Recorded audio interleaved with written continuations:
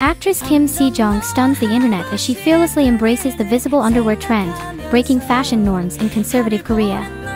With her diverse talents shining in K-dramas like The Uncanny Counter, she recently wowed fans in an editorial video, confidently flaunting her gorgeous physique in a bra camisole combo.